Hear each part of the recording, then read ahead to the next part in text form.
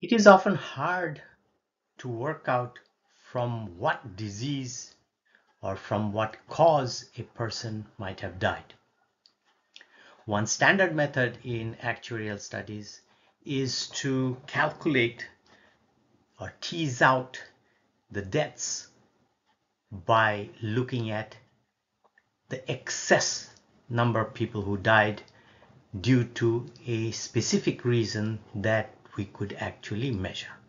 This talk I want to discuss how the excess method excess deaths method can be used for calculating how the impact of COVID or any other pandemic taken place. Let's suppose we have weekly deaths figures for a given country. So from week to week, this number varies. Why? First of all, the recording of any kind of death is not immediate. There's delay. First of all, if the nature of death is not common, then there may be autopsy involved or some other medical examination uh, that might happen, which will delay the declaration of the result. So there are delays depending on the kinds of death or the nature of death or delay in the recording itself.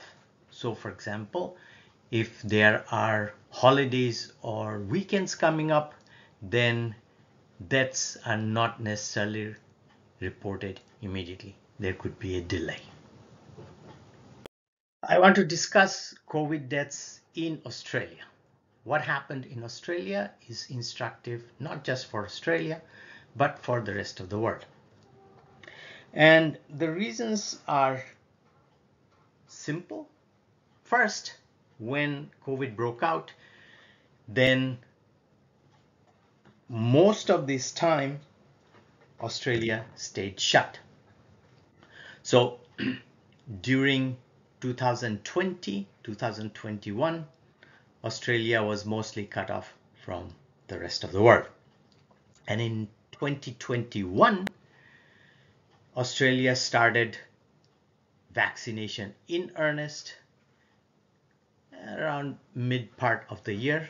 We'll see a slide in a second. Australia had two doses of vaccine over a period of nine months or eight months, and that went from zero to 90% during that period of time. There's a picture for that. So this shows that uh, the red line shows there what percentage, cumulative percentage of Australians had their two vaccines. Now, it starts at a very low, practically zero, from May of 2021. And then you see that S curve going up. That is your typical uh, variation that you see across all countries, depending on the time length of the period that which takes for that to happen. But the shape is pretty much the same across the globe. Australia is no exception over a period of seven or eight months, you have practically everybody uh, having double dose of the vaccine. Now, there are some people, for example, who are uh, who have other kinds of problems, may or may not get a vaccination. So if you're immunocompromised from something else, or you're getting treatment from uh, for cancer or something like that, it may or may not be advisable for you to get the vaccine. And therefore, there's always a percentage of people who do not get vaccination. And of course, there are people who absolutely refuse to get it. But overall, you see a period of uh, between May and December, practically everybody got vaccine. Here I'm going to show you three pictures to demonstrate how the evolution of COVID deaths happened in Australia over this period of three years. First, we start in uh, December of 2019. Of course, there was no COVID back then. And then the wave hit, in particular in Australia, in February.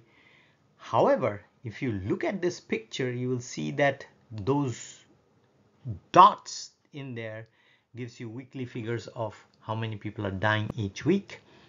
There are orange dots in the first half of the picture and it gives you what happened pre-pandemic, first wave, low COVID and the second wave. So in the first part that is low COVID period, you actually have those dots well below what the pre-pandemic band shows there. The pre-pandemic band is a is a is a is an interval in which we expect deaths to happen over a time period so that the blue band there around the blue line shows you that what we expect to happen notice one thing here that you always have um, deaths occurring in Australia in waves. The wave always happens around the middle of the year June July.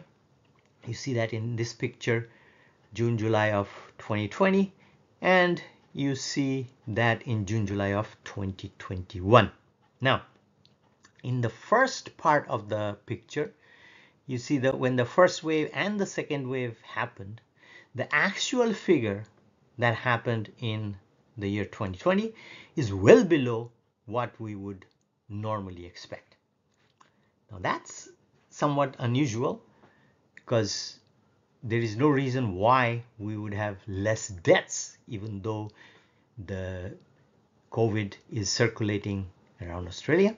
So why did that happen? The answer is fairly simple. It happened because of there was a secondary negative effect that came from flu. So what happened in Australia? People took flu vaccine with great abundance during 2020 much more so than what they normally do as a result wintertime deaths from flus fell substantially and as a result you see those dots below that blue line that we would normally expect to happen. Now this did not happen in 2021 because by then the delta wave had already hit and the delta wave circulated all around Australia in particular in uh, the southern states of New South Wales and Victoria which saw a bigger rise in deaths from COVID than other more fringe states like Queensland or Western Australia. In fact, there were a lot of restriction to travel between states. As a result, you don't see that many deaths in those other states.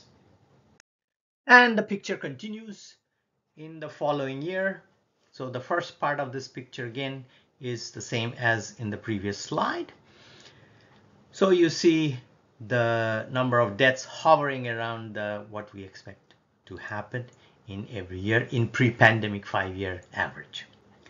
Now, when the Omicron wave hit, that is sort of the end of 2021, you see the orange numbers rise again above that band of the blue, blue band that we see in that picture. And that is the effect of the fact that Omicron wave actually hit Australia much, much harder. There is also another factor that plays into 2022, and that is opening up the Australian economy.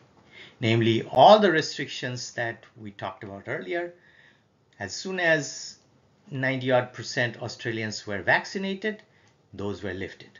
So people could move from one state to the other and people who were outside of Australia could come into Australia without much restriction. As a result, the new Omicron variety went all across Australia and that killed a lot of people. Here I have the same picture only extended in time. Now we run from end of 2021 to near the end of 2022 for which we have very clear data week by week. So what I want you to notice is that the baseline case, which is that red line, is very different from the black line at the top, which is actually what occurred in 2021-2022. So again, the notable thing here is the number of deaths rise as we would expect mid-year for the reasons I explained earlier. But in the beginning of 2022, there is another spike, which is the abnormality that we observe due to the Omicron wave that actually hit Australia hard at the beginning of 2022. Now, notice that the black line stayed well above the red line there, and that is the circulation of the Omicron variety and because of opening up more cases coming in into Australia as a result of all of that. And so in the past year or so, we have seen a substantial rise in mortality in Australia as a result of all of that. How much of excess death did we see in the past year in Australia? So we saw an overall 15% rise of deaths in that period. What are the reasons behind that? There are some actuarial calculations to suggest that roughly about half of that are coming from COVID itself directly. The other half, part of the other half, comes from cerebrovascular diseases and heart diseases.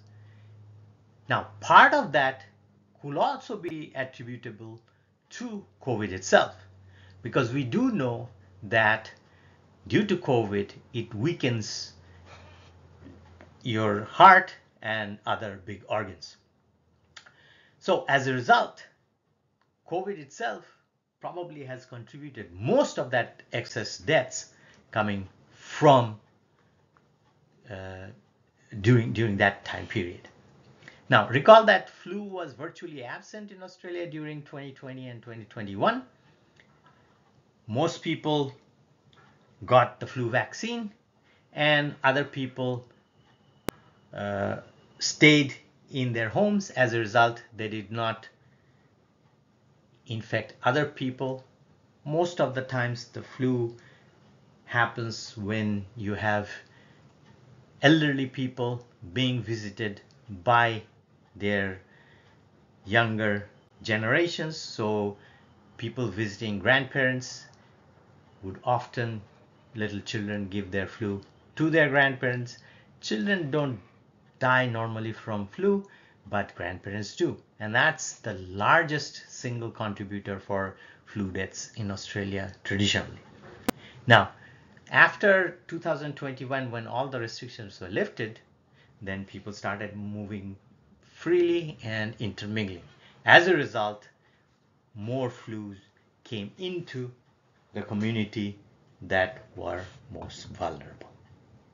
And this you can clearly see in this picture where we have a list of COVID deaths in Australia during 2020-2022. So over a period of three years. In the first year, we see slightly below a thousand deaths. In the second year, we see it over a thousand deaths. But recall that even during that time, there was a lot of restriction in Australia of people movement inside Australia and of course people coming in from outside. So the number of deaths from COVID still stayed fairly low and that exploded is 2022. So on a daily basis, we had about three deaths from COVID in 2020 and also in 2021. In 2022, that went out by a factor of 10 or more. And that's a clear indication of what happened in Australia. So excess death in Australia exploded in 2022. And there are indications that in 2023 that explosion is slowing down. This video is in anticipation for another video that I'm going to make about what's going on in China in terms of excess death. So you have a good sense of what it looks like when you have transparent information across the country where Uh, information is not suppressed and you see a clear result of what excess death does and should look like.